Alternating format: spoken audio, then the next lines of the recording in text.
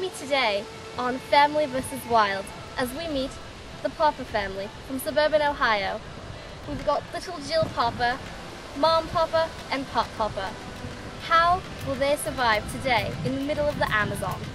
Let's find out. First, we've got little Jillian Popper. Next, to our left, we have Martha Popper, better known as Mom Popper.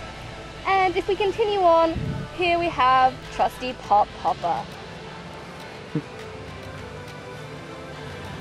How will the family compete in Family versus Wild? And as always, joining us on today's expedition is our trustworthy cameraman, Nigel. Papa's first challenge of the day is to build shelter in which to reside for the rest of the evening. Jill has decided to tackle the challenge by making a simple A-frame style teepee. Mr. Popper is now attempting to lash two trees together with a rare vine of the Amazon.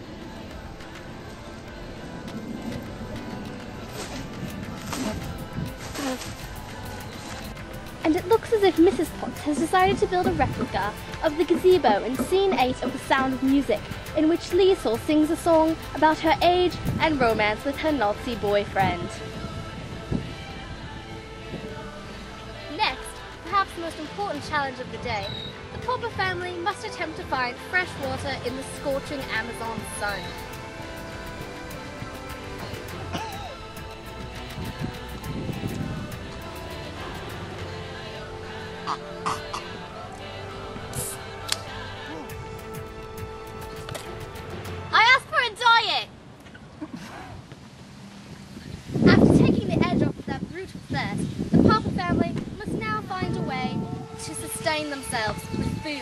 Amazon. After several failed attempts at finding food, Pop Popper has finally found an Amazonian dung worm in which he must eat to survive. Mrs. Potts has found a rare Amazonian grub worm, rich in vitamins D, E, and fiber, and the key ingredient in Metamucil.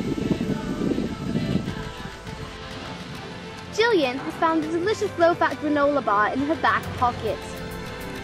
She has food! Get her!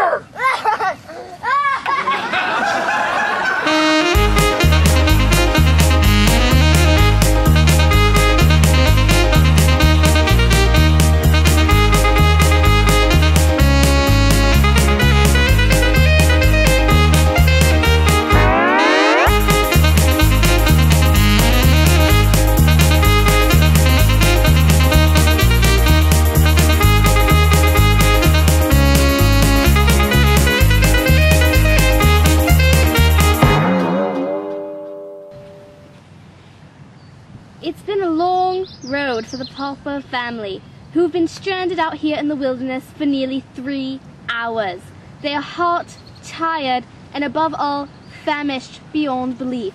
If they don't find something to eat soon, they may not make it out of the Amazon.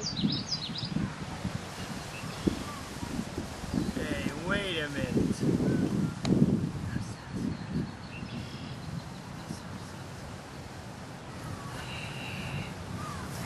Hey.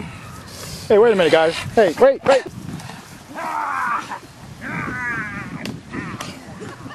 Crikey! It seems as if the Popper family has decided to make a snack out of Nigel. Well, it looks as if the Popper family has survived after all by finding a good meal in the form of Nigel the cameraman. Stay tuned for the new sitcom starring John Stamos entitled Middle-aged single man finds himself in hilarious predicaments while looking for love.